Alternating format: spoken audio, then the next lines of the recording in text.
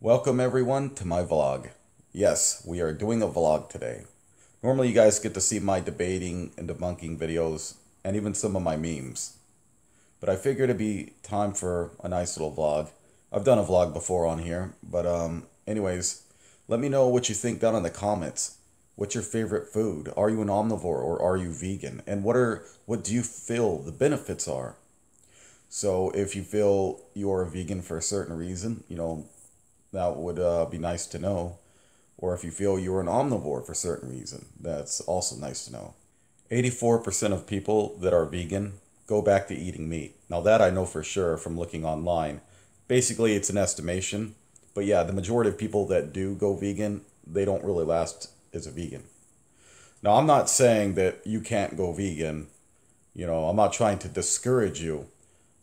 Um, I'm just saying, if you look on online, you can you can look it up.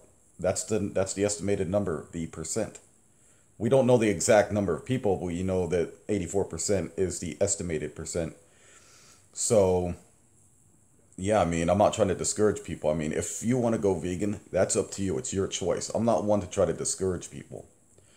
Uh, for me, I would just rather be omnivore because I love eating meat and it makes me more full. Now, for me, meat, it makes me more full because it's really hard to get filled up on vegetables. So, a lot of people will say, yes, it is, it is expensive trying to go vegan. Now, a lot of companies, vegan companies that make uh, fortified vegan food, charge an outrageous price. Oh, because we're doing this for veganism. No, their a price should not be a reason. Okay, if you are really doing this to benefit veganism, your prices would be much cheaper on fortified food. That's why a lot of people are so discouraged. And to be honest, I don't really want to spend hours trying to boil something down. So if people say, well, just buy them in the rawest form and make your own version. Yeah, yeah, that's so time consuming right there. For people that don't have time to spend hours in the kitchen trying to prepare food. Okay, yes, you can boil beans. You can get that done. You could buy a can of beans or whatever. Um, but trying to put everything together to try to make it a balanced meal is really, really putting too much work into something that you can just, oh, take a bite of steak and then eat a balanced diet, you know? You don't need to consume a ton of meat. You just need enough that'll help you to stay full so you're not hungry an hour later. Trust me. You you guys know what it's like eating a bowl of rice? Like I used to love that. I used to like heat up some rice in a bowl and um, put seasoning on it. You eat that, all of a sudden you're hungry an hour later and you're like, what? But yeah, I mean, it takes a lot of different seeds, nuts, and vegetables to try to make up for what you're not getting in meat, and then having to take supplements. But yeah, if you're willing to put that much time and effort into something just to have a balanced diet, then have at it. But yeah, people that do go vegan risk becoming anemic. I mean, and then having to take supplements, you know, it is scary, but you know, there are benefits for people like uh, the amount of fiber intake you know, because your body does need a lot of fiber, but then you're going to lack heme iron, and 90% of what your body absorbs is actually heme iron. So trying to get non heme iron is kind of risky because even people that take supplements, you're still at risk. Now, I'm not saying that there's no problems with meat. I mean, if you eat too much meat, that could be bad. You know, you could be at risk of a heart attack from clogged arteries. But uh, yeah, I mean, there's risk in in both factors. So I was just say, you know, eat a balanced diet, you'll be okay. Um, you can still eat a lot of vegetables. You know, vegetables are good, but it's just consuming meat as well. You know, so I would speak to a nutritionist really, because I'm not a nutritionist, but I'm just telling you that there are benefits. But I'm not telling you you can't go vegan. No, don't go vegan. I'm not going to be like that vegan teacher you know, how she tells people, you have to be vegan. I'm not going to try to tell you, you have to be omnivore. It's your choice, your body, your choice. And that's the same thing that I'm always going to believe. Um, I don't believe in forcing your beliefs upon anyone. My thing is debating and debunking vegans that try to push their beliefs onto other people. If you want to be vegan, that's fine. But don't push it onto others. But, anyways, what benefits you? Whether you are a vegan or omnivore, what's your opinion? Let me know down in the comments. But, anyways, I also want to talk about what's your favorite food. Also, let me know about that. My favorite food, as you guys know, is turkey sandwiches, followed by Asian food. Now, I can cook all kinds of Asian meals. I love cooking. Uh, but yeah, turkey sandwiches, good old turkey sandwiches have always been my favorite. And not just any turkey sandwich, deli sliced turkey meat and uh, organic bread. Yes, I love organic bread. Also, I gotta have those big old fat sliced tomatoes on my sandwiches with mayo. No mustard, just mayo. I love it.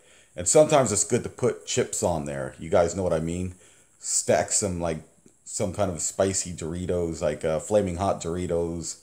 Uh, anything good and crunchy. You know, put that on the sandwich. And now you got a cool turkey, turkey and cheese with cheese, turkey, cheese, tomato, and chips. Oh my gosh, that's great. Now, I can cook a bunch of other foods other than Asian meals. It just happens to be my favorite. I can make uh, homemade pizza and everything. Uh, there's a lot of stuff I can make. You know, tacos is pretty much the easiest thing that anyone can make. Um, hamburgers, I like to make my own barbecue sauce with bacon, kind of like a Western burger. Oh my gosh, who loves double Western bacon cheeseburgers, right?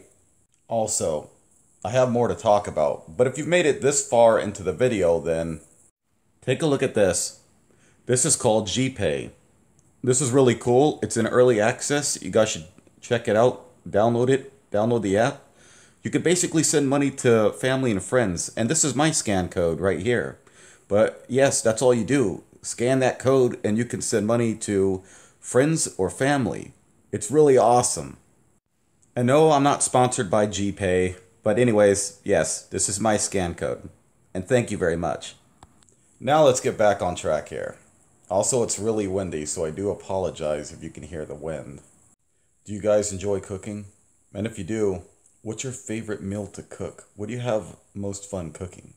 For me, it's always fun cooking egg rolls. I always had a great time cooking egg rolls and chow mein as well. Like, those are two really fun things to cook. Um, everyone's got their own special way to make things. Um, I haven't made sushi in a while, but I really enjoy making sushi as well. Instead of using raw fish, you can actually use imitation crab. And that'll be a lot better too, because there's a lot of people that are allergic to shelled fish. So if you use imitation crab, that'll be a far better choice. And also, cream cheese will go good on it too. So cream cheese and imitation crab, great combination. But if you aren't allergic to shellfish, then you can go ahead and use real crab. And also, I like um, using soy sauce with uh, wasabi. Mix that together. Excellent for dipping sushi in. So, anyways, that's kind of what I wanted to say about that. but yeah, I mean, how do you feel about your diet? I mean, are you happy with what you eat?